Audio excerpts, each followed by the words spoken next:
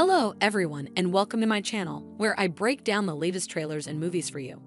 Today, we are going to talk about the new trailer for Blue Beetle, the upcoming DC superhero movie starring Xolo Maridueña as James Reyes, the third and most recent incarnation of the Blue Beetle. The trailer starts with a voiceover from James' father, who tells him that he is proud of him and that he has a great destiny ahead of him. We see James as a normal teenager living in El Paso, Texas, with his family and friends.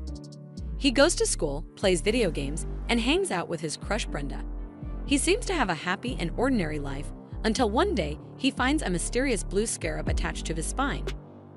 The scarab is actually an alien device that grants Jaime incredible powers such as super strength, flight, energy blasts, and the ability to create weapons and armor from his body.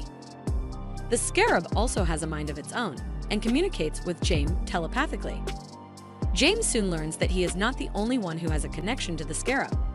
There is also Ted Kord, the former Blue Beetle who mentored James in the comics and who appears in the trailer as a billionaire inventor and adventurer. Ted Kord helps James understand his new abilities and trains him to become a hero. But not everyone is happy about James' transformation.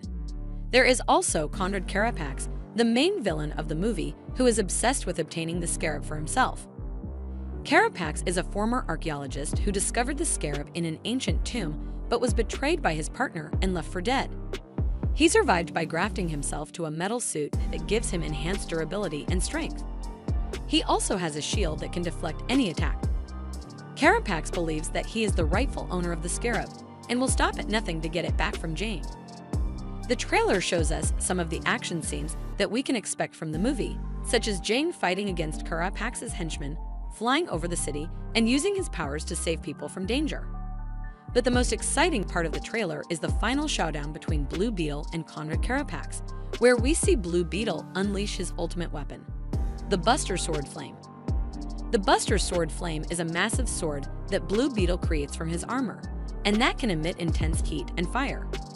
It is inspired by the weapon of Cloud Strife from Final Fantasy VII, one of James' favorite video games.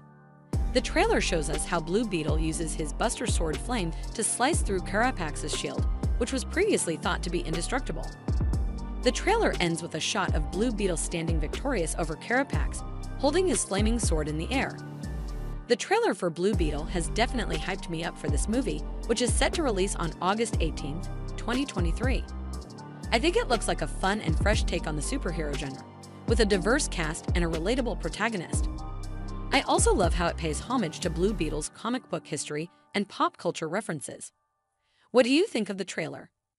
Let me know in the comments below, and don't forget to like and subscribe for more videos like this. Thanks for watching.